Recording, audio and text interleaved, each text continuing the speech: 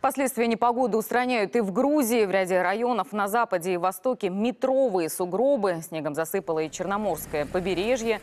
Десятки автомобилей застряли на трассах. Водителей и пассажиров приходится эвакуировать сотрудникам полиции. Подразделения МВД в эти дни перевели на чрезвычайный режим работы. Во многих селах временно прекращены занятия в школах. По горным дорогам проехать можно только с цепями на колесах. Из-за обрыва линии электропередачи тысячи людей остались без света.